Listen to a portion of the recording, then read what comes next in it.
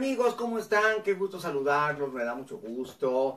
Son las 3 de la tarde con 36 minutos y estamos entrando al aire para saludarlos, para decirles hola, ¿cómo están? Despierten, échenle ganas. Comienza la semana, comienza el mes de julio, todo comienza y cuando todo comienza debemos comenzar nosotros y participar de la conciencia del momento. Es por eso que los saludamos. Estuve a las 6 de la mañana transmitiendo el programa sobre Hernán Cortés. Y ahora vamos a hablar de aprender a estudiar, aprender a crecer, a saber y conocer y saber más. Y les voy a contar algunos libros importantes. Pero antes, déjenme presentarles a Nacho, que está aquí conmigo. Hola Nacho, ¿cómo estás? Hola doctor, buenas tardes, buenas tardes a todos eh, allá del otro lado de la cámara que nos están viendo esta tarde medio nublado. Nublada, ¿verdad? Propia del mes de julio, donde llueve todos los días en la tardecita, está brumoso. El Servicio Meteorológico Nacional dice que durante todo el mes de julio, eso que está comenzando, lloverá diario. Y será el mes más lluvioso de toda la temporada. Así es que, pues, a sacar paraguas, a sombrillas, la lancha de pasadita. porque además quiero que sepan que el día de hoy el gran científico inglés Stephen Hawking dio a conocer al mundo su punto de vista respecto al calentamiento global. Eso lo dijo apenas hace unas horas Stephen Hawking y dijo que el mundo entero debe tomar conciencia de la importancia que tiene el calentamiento global, ya que, según Hawking y de acuerdo a la investigación más reciente, el calentamiento global, además de que sí existe, se está acelerando de manera terrible poniendo en riesgo a la humanidad. Hay que estar informado. Criticó acerbamente, pero acerbamente, de la manera más, más acerba, más crítica, más analítica, sin faltar al respeto, pero con absoluta severidad, la posición de Donald Trump. Le llamó la persona más ignorante del mundo.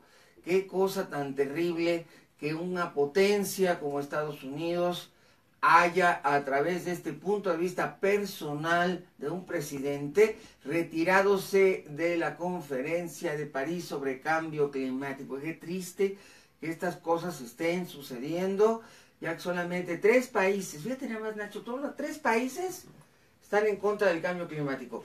Eh, y, ni siquiera en contra. Eh, Nicaragua está indiferente, no, no quiere participar, por razones más bien de ideología política. Y Siria, bueno, pues está en una guerra, una guerra terrible, una guerra civil espantosa. Y el tercer país es Estados Unidos. Cuando el presidente Obama había impulsado de manera tan absoluta el participar, el tomar conciencia, iniciar políticas, establecer leyes para que Estados Unidos bajara sus emisiones de efecto invernadero, eh, sus emisiones de CO2 y de otros contaminantes de la atmósfera, Tristemente, ahora llega Trump, dice, no hay cambio climático, así como si supiera, así como si tuviera información, así como si, si fuera un científico, retira la, la, presencia de Estados Unidos. Y bueno, el problema que ya es tan grave se está agravando y para Stephen Hawking esto es un atentado de lesa humanidad. Es una persona inconsciente, es una persona desinformada, pero dice él que es una persona de plano con un orgullo con una especie de ese orgullo malentendido, soberbia, que, que, está haciéndole mucho daño al planeta y está haciendo mucho daño a toda la humanidad. Bueno, pues ahí está. Eh, con eso nos desayunamos hoy, con las palabras de Stephen Hawking, en donde de veras su crítica se va, nos dice realmente la humanidad debe unirse y debe, y debe mm, cohesionarse y Estados Unidos tiene que cambiar su posición. Eh, él instó a los científicos norteamericanos a crear foros de consulta, a iniciar un movimiento nacional para que los Estados Unidos la convierta en la peor amenaza para eh, contener el problema del cambio climático. Bueno, pues así las cosas, ahí lo dejamos, pero sí está grave, Nacho. Es muy triste que el presidente del país más industrializado del planeta... Y que más contamina, ¿verdad? Exactamente. y diga, no, este, yo no sé nada y, este, porque supuestamente él no cree en el cambio climático, retira a su país. Y bueno, seguramente que vamos a saber más de esto. Y seguramente que va a haber una retoma de conciencia de parte de las comunidades científicas de Estados Unidos que están muy indignadas y, completamente en contra de su presidente. Bueno, vamos a iniciar el tema amable del día de hoy. El tema amable es el conocimiento de nuestro cerebro, de nuestra mente. Eh, y, bueno, yo me acuerdo que hace unos años me visitó Tony Busan en el programa de radio, ya hace muchos años que serán, como unos... Pues todavía estábamos en la mañana, Nacho. Bueno, y entonces aquella visita, ya hace algo, ¿eh? yo creo unos 14 años, 15 años. Y bueno, él es el creador de este libro, cómo crear mapas mentales.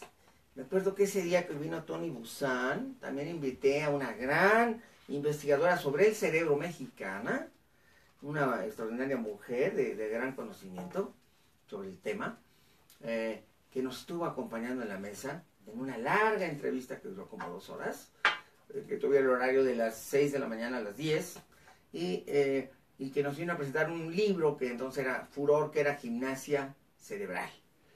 Y estoy hablando de, la, doctora Ibarra. Y es importante que sepan que, bueno, ya Busan estaba preparando este libro, él ya era famoso, ya era conocido en todo el mundo por su gran libro de los mapas mentales. Y este otro era un libro que nos prometió, nos dijo muy pronto, tardó como siete años, va a salir una síntesis de mi libro sobre los mapas mentales. A mí me gusta más este libro chiquito. El grande es una maravilla, es un monumento al conocimiento, es una cosa bellísima. Pero fíjate que qué tiene, qué tiene aquí este libro. Este libro pequeño, un libro realmente pequeñito. Eh, aquí viene Tony Busan ya entrado en añitos, porque pues ya este es un libro reciente, él tiene 25 o 30 años publicando. Y aquí Tony Busan da a conocer tres cosas que para mí son la explicación de muchos aspectos de la mente. Él nos señala que el gran problema del aprendizaje son los traumas al aprender. Y ahí nacen las barreras mentales. Dice que está muy mal atendido el tema de las barreras mentales. Eh, muchas escuelas secundarias, preparatorias, tienen eh, psicólogos que trabajan en las unidades de las instituciones, pero dice que se hace muy poco realmente para atender este problema. ¿Qué son las barreras mentales? Y, en este libro lo explica de manera tan sutil, tan fácil. Bueno, hay muchos, muchos libros sobre el tema, como este de Saber Estudiar, un, gran libro de Javier Majilló, que es este, eh, un libro espléndido, porque nos habla de las ondas cerebrales y cómo las ondas cerebrales son eh, importantes para el estudio de la mente, nos habla de los tiempos para estudiar, eh, cuánto debemos estudiar, aquí nos marca con mucha precisión, ahorita voy a platicar de eso, de los tiempos, cómo, debemos administrar el tiempo de estudiar y por qué, pero eh, el tema de las barreras mentales es fundamental. Personas muy inteligentes, con enormes capacidades, y se enfrentan a la problemática de qué es una barrera mental que ya no los deja avanzar. Dice Busan, a veces un niño pequeño, un niño en, primer septenio o en segundo septenio, dice de los 0 a los 7 años, o de los 7 a los 14 años, un niño de 5, un niño de 9, un niño de 11 años, o de 6 o de 7, un niño de repente, el maestro le dice, pasa al pizarrón y le pide, eh, a ver, este, te elijo a ti para que eh, nos des a conocer la tarea y los resultados. a lo mejor la tarea era de, inglés. Entonces el niño tiene que usar el pizarrón y, y, poner una frase en inglés o, conjugar un, un, verbo en inglés. Y entonces eh, no puede, porque no hizo la tarea, porque no venía preparado, porque había faltado la sesión anterior, lo que sea, pero no puede. El secreto, el chiste está en el que no pudo. Entonces, está frente a sus compañeros, otros 30 niños o 40, niños y niñas, eh, un, grupo de, de, estudio, un grupo, un salón de clase normal. Y entonces el niño se queda mirando a toda la concurrencia, a toda la audiencia, y el maestro le dice, no pudiste, no sabes, no hiciste la tarea, como siempre, tú, el de siempre. Cualquier herida de estas verbal va a ir muy profundo a la mente inconsciente, pero muy profundo. Esto se llama una neuroasociación. Técnicamente se llama una neuroasociación o un anclaje. Y esto que es una neuroasociación y un anclaje de fracaso, o sea, un anclaje de fracaso. Esto no lo deben hacer los maestros. Ningún maestro que de veras estudió pedagogía, que de veras es un, campeón de la didáctica, que de veras tiene conocimientos de psicología infantil, de parapsicología, jamás lo haría. Pero hay ciertos terroristas sueltos en los salones de clase que hasta les da placer lastimar a sus alumnos. Y que lo hacen con dolo, con saña, con mala entraña. Entonces, el niño o la niña ridiculizados en público perciben hasta lo más profundo de su mente inconsciente el sentido. Dice Busan, no es un sentido, no es un sentimiento nada más, no es una emoción nada más. Se convierte en un sentido de impotencia un sentido, se le graba en lo más profundo del inconsciente, se le programa para fracasar, para toda su vida, fracasar en el aprendizaje específico de aquella materia.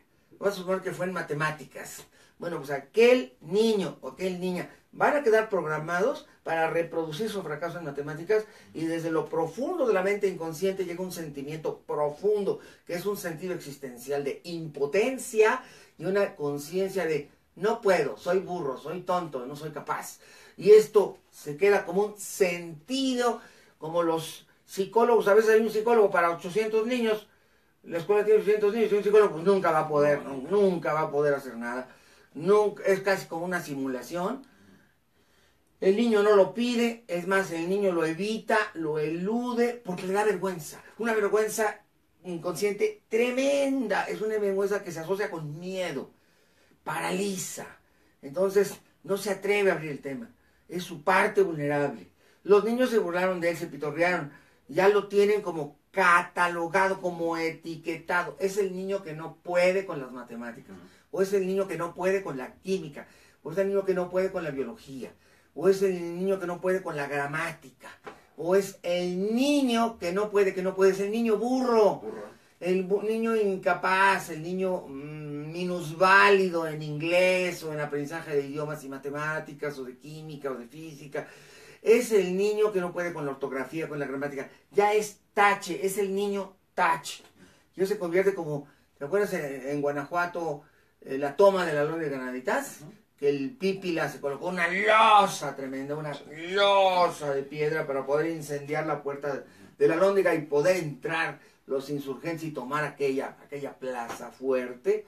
Bueno, pues así estos niños, a veces de muy chiquitos, desde la primaria, desde los primeros años, van cargando su losa y se van arrastrando por la vida llevan una vida miserable, porque esa herida, que no está siendo trabajada, que sería el trabajo de los psicólogos, sería el trabajo de los, eh, eh, de los psicólogos de la institución, los papás no se dan cuenta, no saben, abrumados por el trabajo, por tener que ir y venir, por, porque ahora además se, se, necesita que papá y mamá trabajen, pues porque no alcanza, no hay dinero que alcance con tanta carestía de las cosas. Papá y mamá trabajan y además trabajan de manera extenuante prácticamente ellos cumplen con llevar el dinero, por alimentar a los niños, limpiarlos, eh, bueno, darles hábitos de higiene, darles protección, amparo, seguridad. Total, los papás están tan abrumados que pues no tienen tiempo de ir a las escuelas para padres, para entender que es un trauma del aprendizaje, cómo se ancla, cómo viene, qué provoca en el cerebro. Y fíjense qué cosa tan bella lo que dice Tony Busan. Las heridas cerebrales, yo, yo, yo lo sabía, pero me encanta como lo dice eh, son hachazos. Uno pensaría que estos hachazos están como en el inconsciente y son como que invisibles, son nada más abstractos. Pero recién se estudió en la Universidad de Oxford, en la Universidad de Oxford y en Cambridge, en Inglaterra, demostraron que esos hachazos son neurofiológicamente visibles, que se pueden ver los mapas del cerebro, los mapas físicos de la fisiología de ese cerebro disminuido. Es decir, hay una visualización biológica a través de las tomografías axiales computarizadas. esos niños heridos que traen su cerebro deshecho porque quedaron marcados como incapaces, marcados por el fracaso, marcados por la vergüenza, marcados por una vergüenza neurótica, marcados por la neurosis, eh, que si neuroasocian tal materia inmediatamente entran en pánico. Eh, hoy sabemos que estas heridas son reales, o sea, pueden ver en los escáneres de tomografía cómo el cerebro de ese niño cuando lo pasan el pizarrón, le preguntan algo, empieza a producir el doble, el triple de, de sustancias químicas adversas al aprendizaje, como la adrenalina, porque se está muriendo de miedo. A veces se hacen pipí del miedo, porque eso quedó grabado como una verdadera, como un espalazo, como un balazo. Eh, está en los inconscientes, ahí se queda.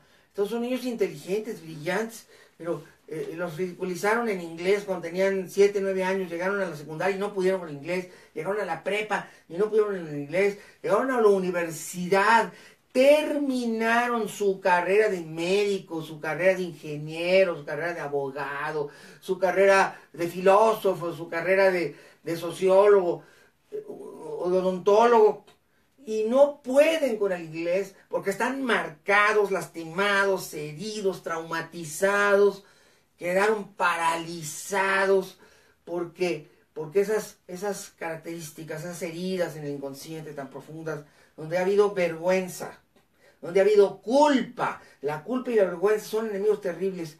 Si el niño cuando, cuando trata de enfrentarse a ese, a ese no puedo, porque son el forno del inconsciente no puedo. El niño dice inconscientemente no puedo, no puedo, no puedo con las matemáticas, no puedo con la química, no puedo con la trigonometría, no puedo con el álgebra. Inclusive me llevaron un niño a terapia. Oye, acuérdense que yo, yo soy especialista en atender estos problemas. Soy terapeuta del aprendizaje y me llevaron un niño de estos, ya eran dos años que repetía y no podía avanzar, era de terror, el papá, la mamá angustiados, lo único que hacían era reclamarle, cuando tú le reclamas a un niño, lo único que haces es que grabas el problema, porque eso no, le estás dando herramientas, ¿cómo lo vas a solucionar? Aparte de, yo trabajo y mira cómo me pagas, bueno, pues lo que estamos haciendo es que el niño va a explotar, porque ya de por sí el niño está sufriendo, de por sí está eh, anclado al fracaso, de por sí se siente culpabilizado, de por sí se siente avergonzado, eh, y neurotiza, y encima papá le reclama y mamá le reclama y dice, mira, yo trabajo todo el día para que tú estudies y, y entrego mi dinero a la escuela para que tú puedas ir y ve cómo me pagas. No, pues entonces ahora sí que papá necesitan información y terapia, porque lo que están haciendo es que el niño va, a explotar, lo van a hacer explotar. ¿Se acuerda cuando antes decían que nos iban a poner a vender chicles en la esquina? Sí, no, pues era muy, muy, este, papá llegaba enojado y mamá estaba en, en acuerdo y le reclaman al niño con violencia y ya que no sé para nada, pues te vas a ir a trabajar conmigo o te voy a poner a vender chicles y lo único que hacemos es que, pues el niño está en una agonía y aquella agonía, pues ahora es como cuando se hundió el Titanic, ¿no? Y que todos se ahogaron, pues el niño se va a ahogar, lo estamos ahogando, en lugar de ayudarle, lo estamos hundiendo más en lugar de hacerlo sentir bien y decir, mira, somos un equipo, somos una familia, vamos a poder con este asunto, te vamos a dar apoyo, te va a apoyar un terapeuta del aprendizaje, te va a apoyar un psicólogo, te va a apoyar un psicólogo, te va a apoyar un experto y vas a poder porque tú eres un genio, tienes potencias escondidas, hay una situación que no sabemos, se va a hacer un diagnóstico para poder encontrar y que camines y que avances y que puedas. En lugar, o le llevamos un curso de aprendizaje acelerado, le llevamos un curso de técnicas de estudio, le llevamos un curso de terapia del aprendizaje y entonces el niño se va a sentir perfectamente normal y capaz y va a empezar a llevar a terapia y a, recibir información. Entonces va a superar el problema, va a aprender a estudiar, va a saber estudiar. Entonces, en lugar de eso, cuando se hace como una conspiración, todos se enojan. Bueno, hay que entender, papá y mamá se sienten frustrados. Dicen, yo trabajando todo el día, yo echándole ganas en la oficina, o echándole ganas en la carpintería, o echándole ganas, no sé, en la ferretería, o, donde el papá trabaje y la mamá también, también está de oficinista, también está, no sé, eh, a lo mejor en una tienda departamental, a lo mejor es taxista y anda manejando, ahora hasta, hasta mujeres taxistas hay, y llegan a casa y esperan lo mejor para su familia y resulta que el niño ya reprobó el año. Y entonces entran en cólera y empiezan a dar de gritos. Porque ellos se sienten lastimados, porque se sienten frustrados, pero además temen por el futuro del niño. Y cuando yo no esté, ¿y qué va a ser de mi hijo? Si yo me esfuerzo, todo esto que me esfuerzo, es para que él pueda lograr tener una carrera, tener un modus vivendi, crecer como ser humano, alcanzar sus objetivos como ser humano. Pues todo se convierte en una especie de caos neurótico. La neurosis no es amiga de nadie. La neurosis siempre nos lastima, la neurosis siempre nos hace estallar. Y, provoca la iracundia y el enojo y el enfado y la violencia intrafamiliar. Bueno, entonces lo que tenemos que hacer es tomar el toro por los cuernos, encontrar la solución. Fíjense qué cosa tan bella aquí sobre el cerebro gusán. Eh, cuando, cuando ocurre lo contrario, eh, si, si, vemos desde el punto de vista del cerebro, ¿qué es lo contrario? Lo contrario sería estar anclado hacia el éxito. En lugar de quedar atorado en el fracaso, haber anclado el fracaso, anclar el éxito. Vamos a suponer que un maestro muy inteligente, que también los hay y muchos en abundancia, que de veras cumple su misión, que no es solamente que el niño sepa, sino que el niño dice Busan, el sentido del placer al estudiar. Fíjense qué bonito. La misión que tienes tú como maestro y como ser humano es no que el niño sepa las tablas de multiplicar, no que el niño sepa la geografía de México o del mundo, no que el niño sepa cuáles son los ríos de Asia, o que el niño conozca la historia de su país, o la ortografía, sino que el niño descubra su capacidad de aprender y que haya una degustación que el maestro conduce hacia el placer de saber, el placer de conocer, el placer de descubrir, el placer de razonar, el placer de discernir y el empoderamiento que da.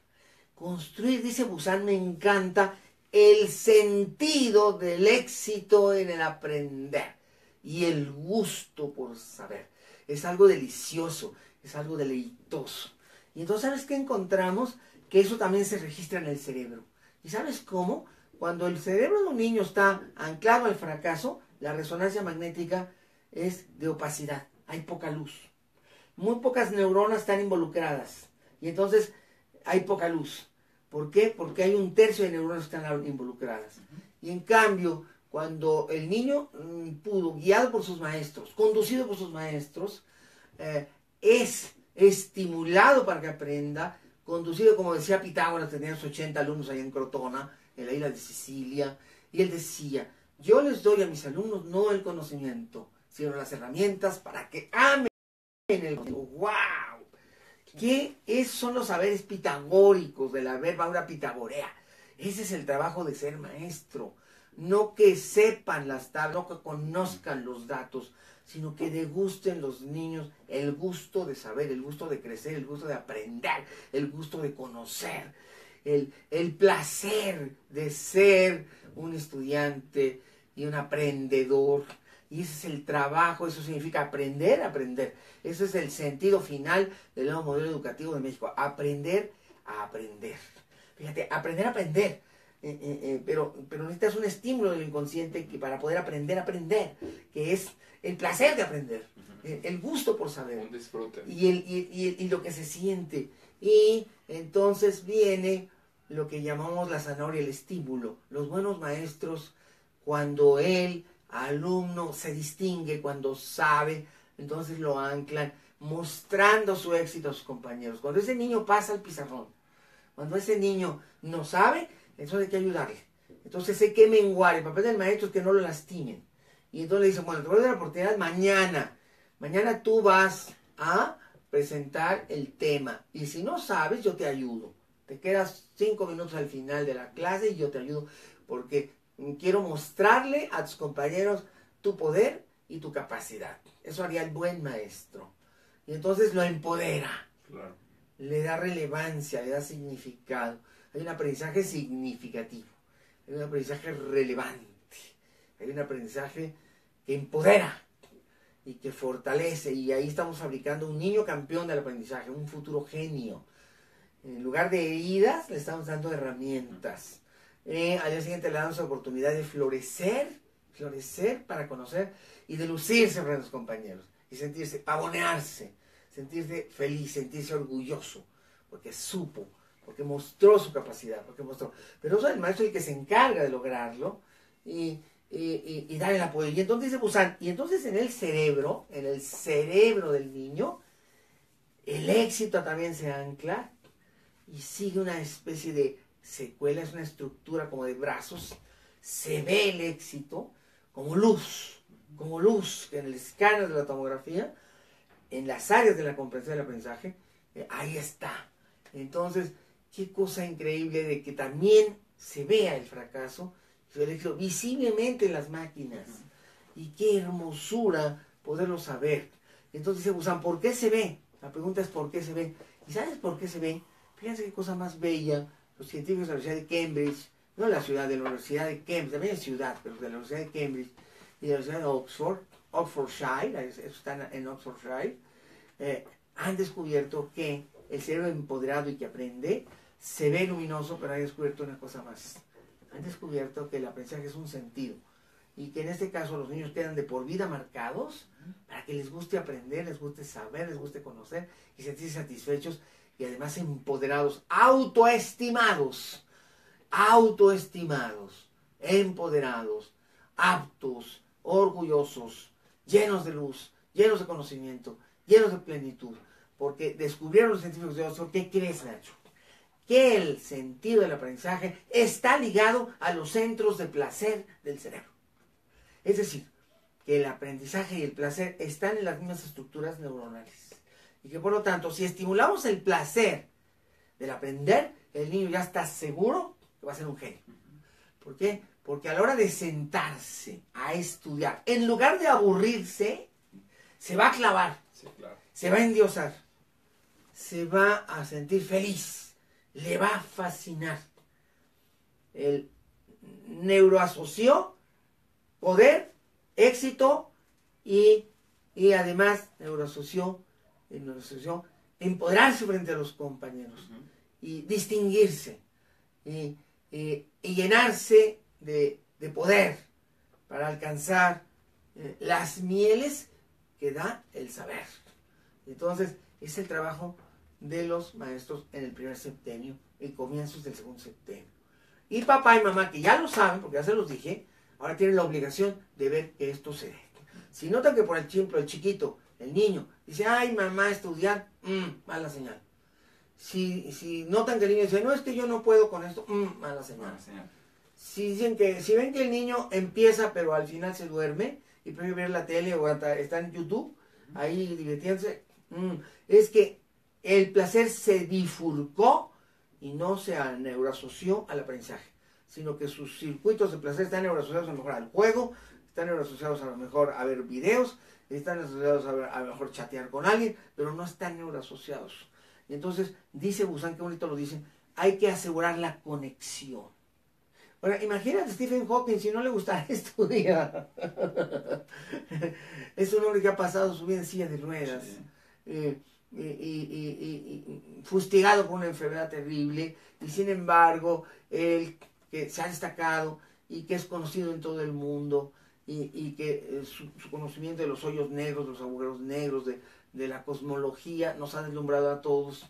¿Pero por qué? Porque él en lugar de sentirse impotente, discapacitado, se convirtió en un gran creador de conocimiento y lo ha convertido en uno de sus máximos placeres.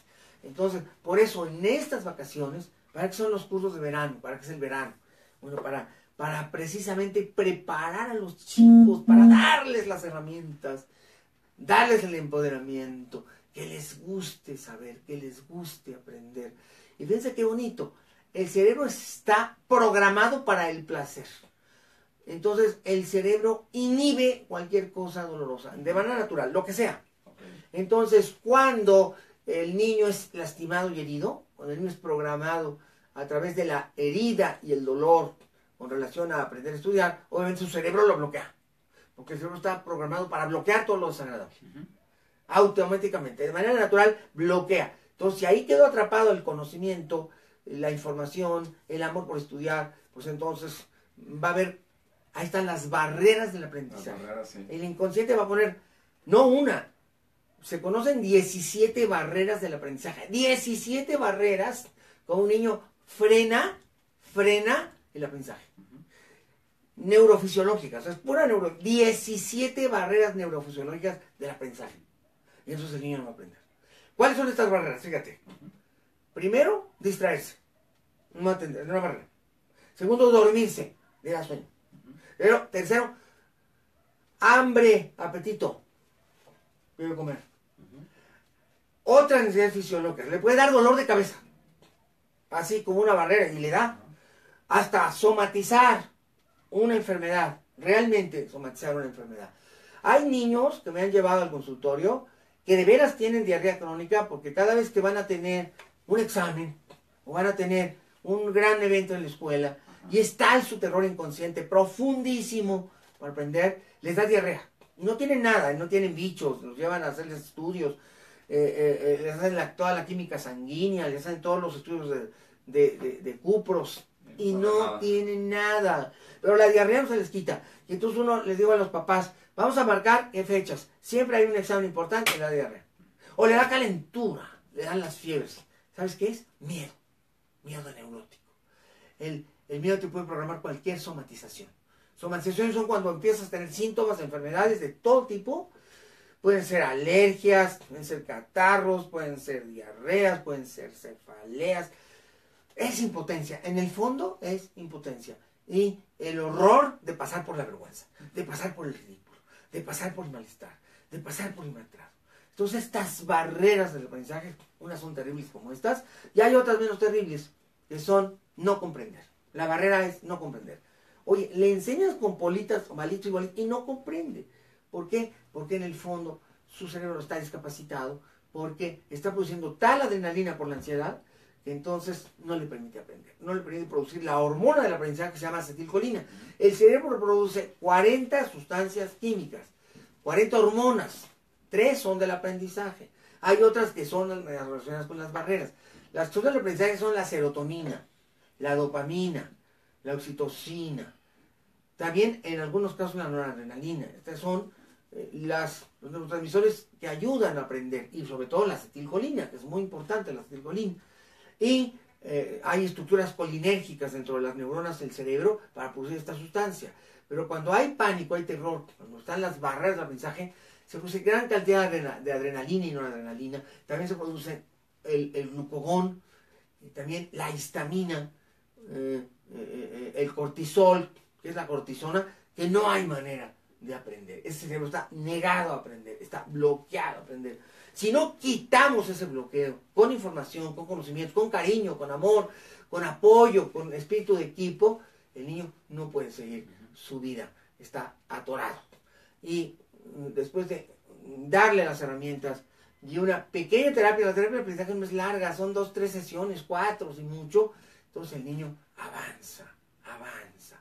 Cuando los niños son muy pequeños, muy chiquitos, tienen estas barreras de aprendizaje, y vemos que no les, no les gusta estudiar, o se duermen, o se aburren, o se fatigan, o de plano dicen que no pueden, se sienten incapaces. Entonces, lo que se hace con los niños, la Secretaría de Educación Pública, el sector salud, tiene un, un, centro de investigaciones y una clínica de apoyo terapéutico que se llama la Clínica de la Conducta, y que está en la calle Presidente Mazarí junto a la Embajada de Cuba, en Polanco. Y entonces uno lleva al niño le solicita a la escuela, al director de la escuela, no importa que no tengas dinero, esto no, no tiene que ver con dinero, es una clínica pública, es un centro de apoyo a los estudiantes, a los jovencitos, a los niños, especialmente los de primaria, de secundaria, pero los de primaria en particular. Y entonces ahí tienen todos los especialistas.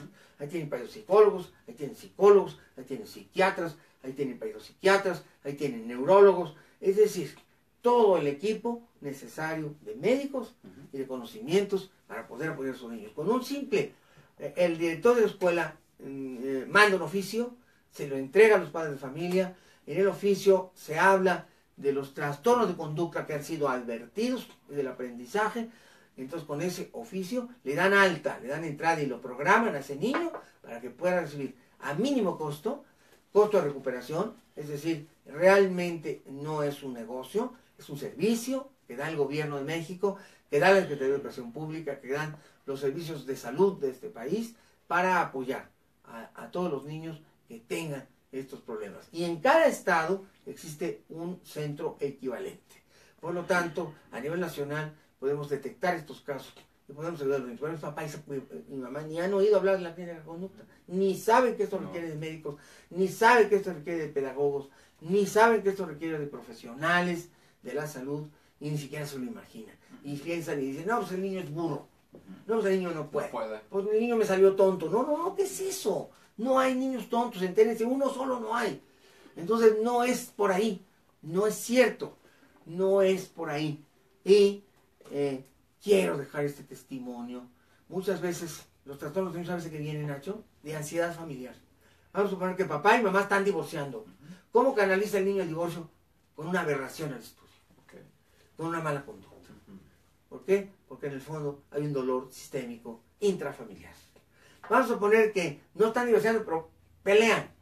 O papá golpea a mamá. ¿Cómo canalizan los niños todo esto? A través de la ira, del enojo, del enfado, a través se satura. El rechazo. Pueden generar, muchos niños en esta situación se convierten en buleadores en las escuelas.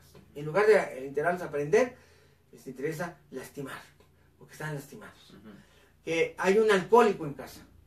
Bueno, pues el alcoholismo también da estos factores en la conducta de los niños. Nada viene de la nada, todo viene de algo, en todo hay un origen. Entonces, eh, esto, un niño no muy bien querido, un niño no estimulado emocionalmente, no atendido en sus necesidades emocionales, también decae en su aprendizaje y en sus estudios. Debemos entender todo esto, debemos darnos cuenta de las necesidades que existen, del apoyo que realmente debemos dar a los niños. Bueno, casi estamos cerrando el tema, pero creo que sí nos ha quedado claro qué son las barreras mentales del aprendizaje. Sí, sí, sí. Qué, qué tremendo. Y una de las maneras de superar esas barreras mentales es con la lectura rápida, con las técnicas de estudio. Este es un libro de técnicas de estudio. Este es el libro de Saber Estudiar de Javier Majilló. Y qué librazo. Nos dice, por ejemplo, cuánto tiempo deben los niños estudiar.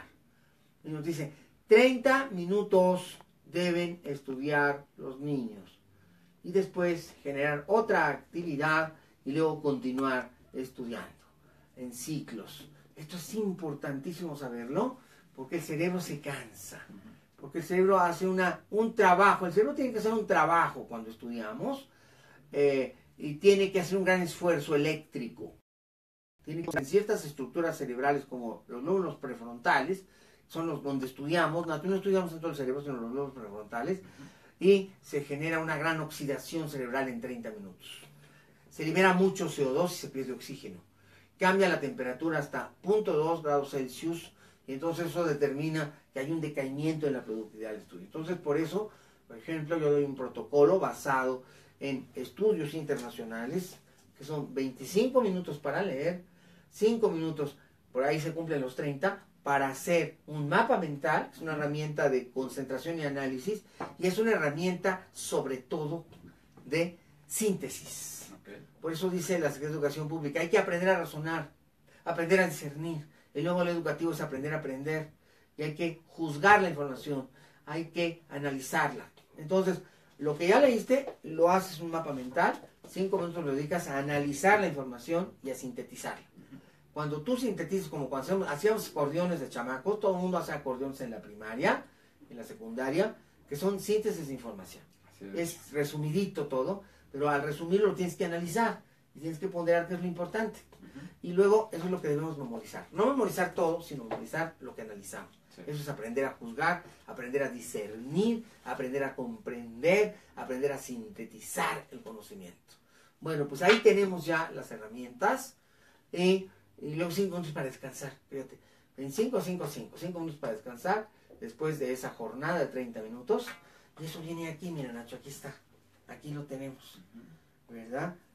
Las sesiones de estudio. 30 minutos y luego 15 minutos de descanso. Eh, eh, es importante no forzar al cerebro, porque cuando el cerebro es forzado, como tiene un biorritmo, si no lo respetamos, decae lo que estamos haciendo. Sigues leyendo, Sí, pero tu curva de productividad va cayendo. La primera media hora, 80, 90, 100%. Pero la segunda media hora, estás a 15%. Sí, muchísimo menos. La tercera media hora estás al 10%, ya te estás haciendo de loco, ya no estás aprendiendo nada, porque no sabemos respetar los biorritmos cerebrales.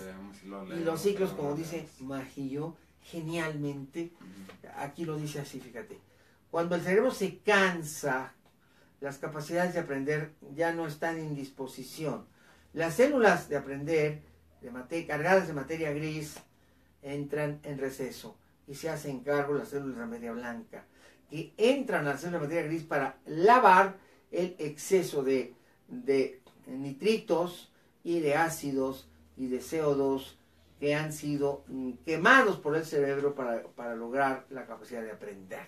Cuando esto sucede, prácticamente el aprendizaje se reduce en un 80 o 90%.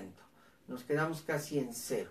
Podríamos estar haciendo esta actividad por horas, pero no tendríamos ningún rendimiento y a la hora de tratar de acordarnos ni siquiera lo lograríamos. bueno, pues ¿para qué te haces esto tú solito? No tiene ningún caso. Entonces, bueno, entonces todos tienen que aprender. Todo tienes, este libro genial, saber estudiar, pues sí nos explica todo esto. Tan maravilloso. Yo me acuerdo que yo siempre iba a las, a, las ferias del libro. Ay, iba yo a las ferias del libro. Iba a todas. Aquí las que hay en la Ciudad de México. Me iba de Guadalajara a comprar libros sobre estas cosas. Este libro lo consiguió en Guadalajara en una feria de libros, fíjate. Había traído una editorial española. Ay, y cómo me dio gusto encontrarlo. Y cómo me dio gusto. Y luego, bueno, después mm, eh, le dije a Gandhi que necesitábamos traer algunos y trajimos 50 libros de estos, se los compré a Gandhi, se los pedí a Gandhi. Y bueno, lo, hasta lo popularicé en México porque es un libro pues, de un autor español. Y bueno, es un gran librazo que aquí vienen todos los tips, es como una guía, tiene esta forma de guía, mira, alargadito y flaquito. Con esto un alumno la hace, la hace increíble.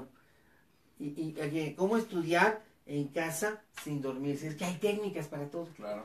Y, y esto lo, todo alumno lo debe de saber. Y es una cosa maravillosa el libro, la manera como está estructurado. Mira, aquí vemos la grafología de, de estudiar. Este es el mismo estudiante pero cómo se va alterando la escritura conforme van pasando las horas y el cansancio y la cómo se va volviendo el cerebro como tonto cuando no sabemos estudiar y entonces se va alterando la letra. ¿Sí te ha pasado que se te altera la letra? Bueno, cuando hay esta alteración de la letra, el alumno sabe que no está aprendiendo. Y ya está tan cansado que se le deforma la escritura. Y es, es padrísimo saber estas cosas, ¿no, Nacho? Nos garantizan el éxito en el aprendizaje. Y ahora vamos a dedicar unos minutos ya estamos cerrando el tema. Ah, mis cursos para que se inscriban. El curso de aprender a estudiar, aprender a aprender, lectura veloz, aprendizaje dinámico, aprendizaje de idiomas, técnicas británicas y americanas de estudio. Este curso, miren, pasan los chamacos o los adultos, porque es un curso para todas las edades, a partir de los 15 años. 15 años en adelante, todas las edades. Y pasan y cuando salen tan empoderados, tan realizados, tan contentos, en un mes han resuelto todos los problemas. Saben cómo estudiar idiomas, saben cómo, cómo leer rápido, cómo escribir, cómo resumir. Bueno, es un curso que te empodera realmente de todo. Y bueno, aquí están los teléfonos. 5610 0069 5520 0224. El curso empoderador del aprendizaje, que toca todos los temas básicos que van a permitir que un estudiante sea un estudiante de 10, de 11, de 12. Realmente, que ame el estudio, que ame el aprendizaje, que se quiera a sí mismo, que genere autoestima del aprendedor, autoestima del lector, autoestima del razonador. Realmente, créanme, este curso maravilloso, yo lo ofrezco a empresas, lo ofrezco a escuelas a nivel nacional. Puedo ir a cualquier lugar de la República. En ocasiones, no me gusta irme muy lejos, no me gusta irme a Sudamérica, por ejemplo, o a España, porque luego me alejo de mi canal de YouTube, me alejo de, mi centro de estudios, de la universidad de la que soy rector, no me gusta irme lejos, pero sí voy, sí voy y he ido a 40 países. Entonces, aquí está 5610-0069, 5520-0224, llámeme para conferencias, puedo dar cursos intensivos en un solo día, en diferentes lugares de la República he ido, he trabajado en el TEC de Monterrey, por ejemplo, en el campus de Monterrey, en el campus, fui cuando con fines de Mota a dar conferencias y cursos al TEC de Monterrey, pero de Torreón. Y ahí me tocó ir con mi gran amiga, alumna, primero alumna, después amiga y después compañera de trabajo, que fue secretaria de Educación. Bien, aquí tenemos 56 10 0269 55 20 02 24 Y bueno, me da muchísimo gusto poderles decir, aquí está, soy localizable, me pueden llevar a una escuela, a una institución pública, me pueden llevar a, a un grupo de personas que se reúnen para lograr difundir estas enseñanzas y conocimientos. Y por supuesto, vienen los cuatro grupos, los cuatro cursos, en cuatro horarios, cuatro grupos, cuatro, en, días diferentes, de aprendizaje acelerado, curso de verano, aquí en la ciudad de Marquen, marquen, marquen. Esto ocurre ahí en Anaxágoras 915B, ahí en la colonia del Valle, Anaxágoras, esquina con Eugenia. Ahí está mi consultorio y ahí está mi aula de trabajo. Son grupos cerrados solo para 10 alumnos. Son grupos personalizados, grupos cerrados y personalizados donde sí puedo atender cada alumno de manera individual para darle las herramientas y empoderamiento que requiera. Entonces, aquí están mis teléfonos. Yo así vamos a responderle a la gente, Nacho. ¿Qué dice la gente? A ver, ¿qué dice la gente? Porque de repente veo unas lluvias de corazones, de repente veo unas lluvias de deditos, y pasan los corazones, y pasan los deditos, ven muy bonitos. Ahí pasa como una nubecita de corazones. Gracias, gracias. Les mando a todos un abrazo enorme. Cuando veo esos deditos con la mano para arriba, o esas caritas amarillas, o luego los corazones, ahora me da mucho gusto que ustedes están ahí, sé que están ahí y que vamos a seguir transmitiendo en este horario para que no nos extrañen, ¿verdad, Nacho? y ahí están los corazones, las caritas amarillas, ahí está la lluvia de corazones, la lluvia de amarillo, la lluvia de azul de deditos, azul, amarillo y rojo, los corazones, los deditos, y claro, también veo el amarillo. Y, qué, hermoso la nube que va pasando. Increíblemente bonito. Ahí va pasando la nube. La lluvia de corazones, la lluvia de deditos, la lluvia de caritas amarillas. Amigos, qué gusto saber que están ahí, que nos siguen, que nos escuchan y que les sirve todo esto que estamos diciendo. Porque eso es lo importante, que ustedes lo conozcan, les sirva, les ayude. Pero si vamos a contestar, vamos a contestar, Nacho. Vamos a contestar. Eh, Annie Llanas dice hola desde Fort Worth, Texas. Saludos a Fort Worth, Texas. Carliux CT, hola, buen eh, inicio de semana, ya lista para escuchar y aprender de este tema que suena bastante interesante, las barreras del aprendizaje. Sí, qué importante saber cómo son las barreras, cómo se superan, qué pueden hacer los niños, los adolescentes, los adultos. Fíjate que yo me he topado con adultos que tienen barreras de aprendizaje a los 30, a los 40 años. Claro. Una vez un, un amigo de, que era ejecutivo en una gran empresa. Dices, bueno, ¿cómo es posible? Bueno, les voy a decir cuál, de Bimbo. Llega y me dice, pues yo ocupo tal puesto, pero no puedo con el inglés, doctor, es que no puedo con el inglés. Este, mire, ni en la primaria, ni en la secundaria, ni en la prepa, me fui al CL y al centro de lenguas y tampoco pude, terminé mi maestría. Caramba, una maestría y no puedes con el inglés. Bueno, ahí estaba la barrera. Ahí estaba, ahí hasta la peripatella de la barrera, porque hay una peripatella de la barrera.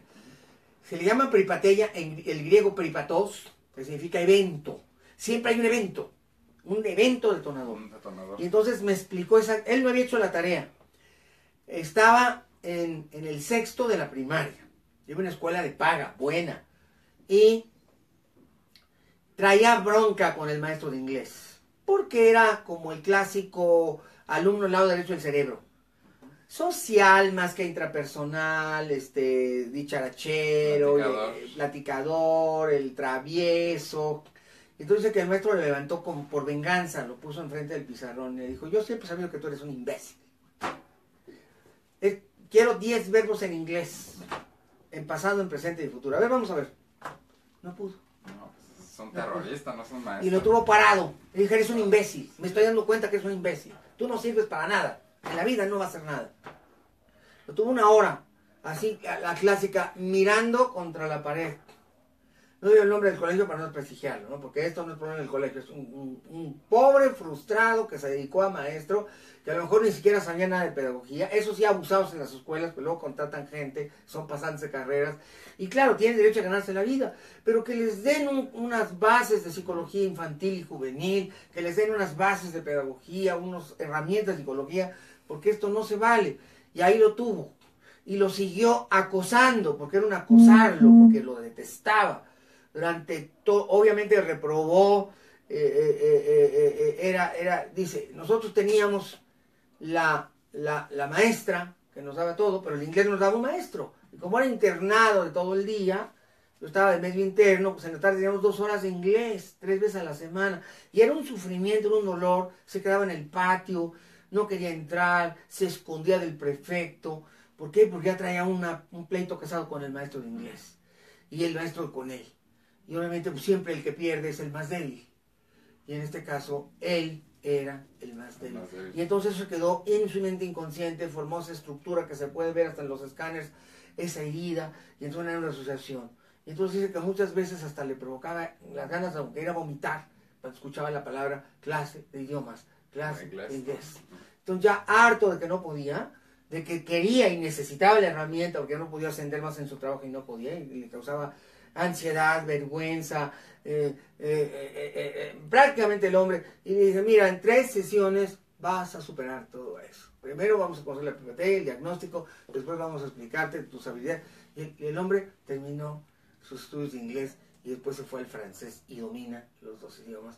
Pero qué tremendo que vayas cargando por la vida con esas barreras mentales y esas heridas terribles. Vamos a seguir con la gente, vamos a decirles más. Vamos a em, decirles más. Nos escribe Alejandra Pimentel, admirable su conocimiento, feliz inicio de semana, bendiciones. Feliz inicio de semana. Al equipo, a Nacho y a, operador. A Luis Calón, que está aquí con nosotros, y que no es el operador, es el todólogo de aquí, es el que maneja nuestro canal, nuestro Facebook, es el técnico, pero es, le echa todas las ganas, todas las ganas, y lo hace muy bien. Lo hace bastante bien. Lolita Méndez, saludos, doctor Pepe Cruz. Eloa Jiménez, gran eh, maestro, felicidades. Saludos, mucho cariño. ¡Uy, la lluvia de corazones! Otra vez, sí, lluvia de corazones. La lluvia de dedos, la lluvia de caritas amarillas, ahí van pasando.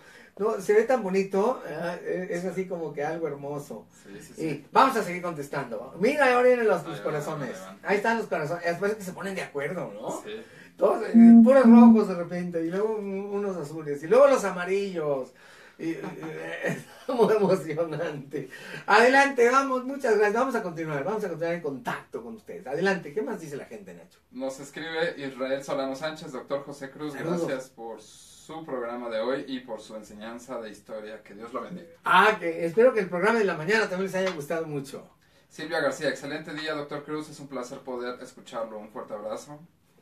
Para mí también es un enorme placer saber de ustedes y extenderles el abrazo y todo el cariño, hasta donde estén. Marta Elvia, muy interesante el proceso como usted lo explica, doctor Cruz. Sí, es que hay que entender esto, hay que saberlo. Y todos tenemos alguna barrera del aprendizaje. Todos, todos, todos tenemos alguna mala experiencia en la infancia, en la adolescencia. Adelante, Nacho. Rachel Kings, saludos desde Puebla. Cuántos conocimientos interesantes y con la vocación que tienen para compartir. Gracias. Hasta Puebla, de Los Ángeles y de Zaragoza, por supuesto.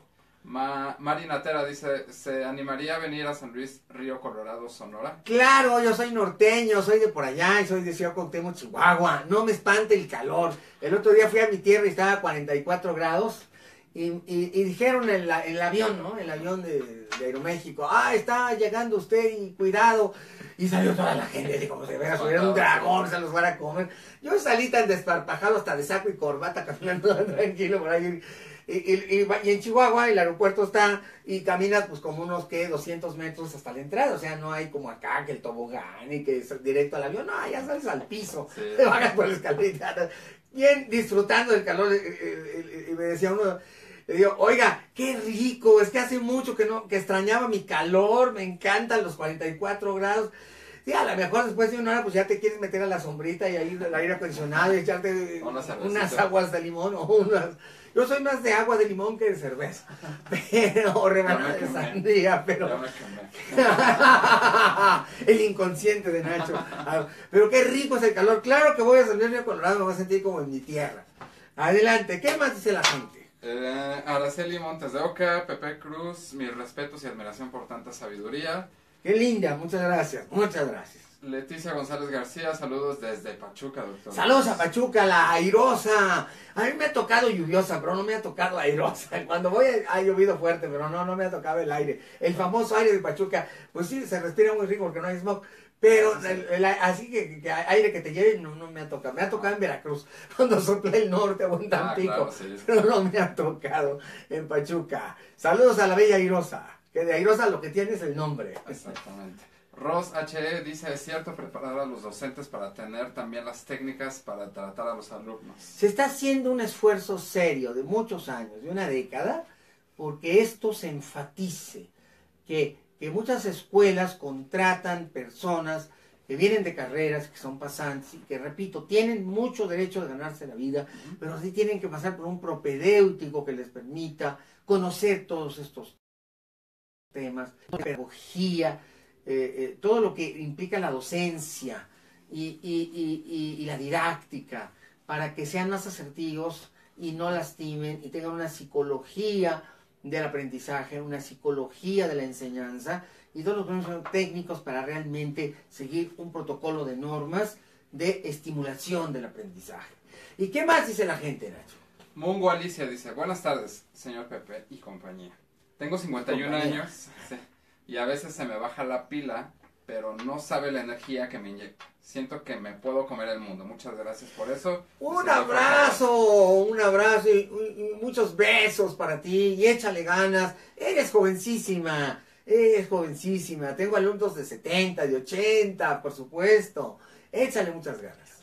Y Alejandra Pimentel, doctor Pepe pregunta, después de dañar a un niño de esa manera y llegan a jóvenes adultos, ¿usted los puede tratar como psicólogo? Por favor, contésteme. Claro que sí, por supuesto es mi especialidad. Y, y he tratado a cientos de niños en los últimos 25 años. Y lo, lo bonito que eh, deben de saber, lo bonito es entender que el cerebro se regenera, 100%. El cerebro es 100% regenerativo. El cerebro se regenera. Entonces, las personas pueden vivir con esto manejarlo, aprender a manejarlo, generar inteligencia emocional, infinitas capacidades y superar. Y eso no importa, y superar. Y superarlo con ventaja. Porque precisamente este apoyo para eso es. Y se logra al 100%. Claro. Eh, Julieta Torres, por último, muy buenos, buenísimos los programas de historia. Gracias. Un gusto. ¿Qué más dice la gente, Nacho? Ya hasta ahorita son todos los comentarios. ya nos tenemos que despedir. ¿Qué horas son? Una hora, Nacho justamente una hora. Pero creo que todavía hay alguna pregunta, comentario para antes de despedirnos y no dejar ahí a las personas con ganas de, interactuar. Adelante, Nacho. Claro que sí, es Esther Guzmán. Hola, doctor Pepe y Nacho. Hola, saludos desde New Jersey, Estados Unidos. La ayuda de corazón. Saludos a New Jersey. Oye, ¿cómo hay mexicanos, latinos, latinoamericanos, hispanoparlantes en Estados Unidos? ¿eh? ¿Cómo hay tanta gente bonita? ¿Sabes cuántos millones son? El otro día me dieron la cifra prácticamente exacta, porque el consulado, bueno, el Servicio Consular de México en Estados Unidos está haciendo un censo por zonas, por regiones. Y estamos hablando, ¿cuántos millones de mexicanos te imaginas, Nacho, que hay por allá? Yo creo que unos 10 millones. ¿Verdad que se antoja que eran menos? No, es que cuando te den la cifra no lo vas a creer. ¿Cuánto? Una cantidad. Ya asertivamente y conservadoramente desde el punto de vista de los servicios consulares, a pesar de que muchos se han venido, estamos hablando de alrededor de 30 millones de mexicanos. Wow, es muchísimo. Imagínate. Eh, y estamos hablando de entre 50 y 60 millones de latinos. todas las nacionalidades. Obviamente los que más hay son mexicanos. Y hay condados, todos los de la frontera, eh, los condados de la frontera de, en Texas, desde Harlingen, Isla del Padre, hasta El Paso, Texas, pasando por, por Presidio, todas las comunidades. Yo me he hecho ese viaje, ¿eh? desde, mi tierra. Un día me, me, contrataron a la Isla del Padre para una conferencia, un corporativo de Estados Unidos, y tuve que irme, me gustó ir viendo desde, hacer, desde El Paso, Texas, toda la... Hay una autopista que va por la frontera del lado de Estados Unidos, y cruzas todo, llegas hasta hasta Nuevo Laredo, llegas a Roma, Texas, y después te vas a Harlingen, y luego ya eh, Brownsville, y, la del padre, y, qué cosa más maravillosa. Se habla tanto español como inglés. Ni siquiera parece que estás en Estados Unidos, ni que estás en Estados Unidos. Lo mismo en otras regiones de Nuevo México, de Arizona, de Sur California, Calexico, de Mexicali para allá. Sí, sí, sí, sí, sí, definitivamente. Eh, eso explica porque son mucho más mexicanos porque no solamente son los que llegaron a Nueva York o Chicago o Los Ángeles, son las ciudades donde hay muchos mexicanos y otras 30 ciudades donde hay muchos mexicanos, sino todos los que llegaron. Es como los cubanos en, Miami o en la Florida, el sur de la Florida, ¿no? Que una cantidad de, ahí de, de 10 hispanoparlantes, 6 son cubanos, ¿no? Hay, totalmente. Y, y bueno, es algo muy bonito de ver cómo es la cultura de los mexicanos de allá. vamos, a, vamos a concluir con las llamadas.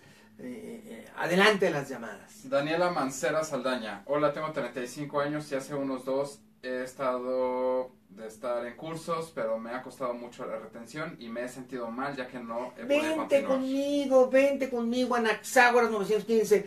Tú, tú, eh, recuerda la dirección, Anaxágoras 915. Los números telefónicos de Pepe Cruz, 5610 0069, 5520 0224. Aquí en este número es donde puedes pedir una consulta conmigo. Yo soy psicoterapeuta y atiendo todo tipo de problemas psicoterapéuticos. Asisto a mi consultorio regularmente en Anaxágoras 915, Colonia Narvarte. Ahí muy cerca de la estación del metro Eugenia, muy fácil llegar, a unos pasos de la estación del metro. Ahí estoy para ti disponible. Puedes aquí hacer tu consulta, yo tengo espacios de consulta y te dan toda la información de cursos y talleres de aprendizaje acelerado, de autoestima, de todas las técnicas de estudio y mis cursos de manejo del estrés y mis cursos del árbol de la vida. Entonces, marca 5610 0069 5520 0224. ¿Quieres que vaya a tu escuela a dar un entrenamiento de oratoria magistral? Tengo mi curso de 10 sesiones de oratoria magistral, con mucho gusto. Yo he tenido en oratoria magistral a más de 50 personajes conocidos que les di oratoria magistral, que han sido gobernadores, presidentes de corporaciones, y doy uno de los mejores cursos de oratoria magistral que se da en México, el que armé con Cristian Caballero, el señor Claudio Len. Él y yo armamos un taller de oratoria magistral desde hace 25 años. Y obviamente pues ya no está don Cristian Caballero, don Claudio Len ya no está, pero dimos un taller que armamos especialmente hace 25 años de oratoria magistral. Te puedo adelantar que es el curso de oratoria magistral mejor que hay en la República Mexicana. Y, ahora sí, ya nos vamos a ver. Ya no dice nada la gente. Vamos nada más a dejar la lluvia de corazones. Pero ahora de aquí para allá, Nacho. Nuestra lluvia de corazones personal para ellos, ¿verdad? Así es. Nuestra lluvia de deditos, nuestra lluvia de caritas amarillas, nuestra lluvia de corazones para ustedes y vamos a decirles que vamos a estar haciendo transmisiones en las tardes y en las noches o las madrugadas. El, de historia o lo hacemos muy tarde en la noche o lo hacemos muy temprano, pero muy temprano como hoy Nacho, que nos levantamos bien temprano a las 6 de la mañana. Ya estamos transmitiendo. Van a venir programas de los secretos, fíjate, diferente de lo que hemos hecho durante tantos años en Radio Centro. Quiero que todos sepan que Nacho fue mi productor de encuentros con la historia, ¿verdad, Nacho? ¿Cuántos años, Nacho? Una bola de años, ¿verdad?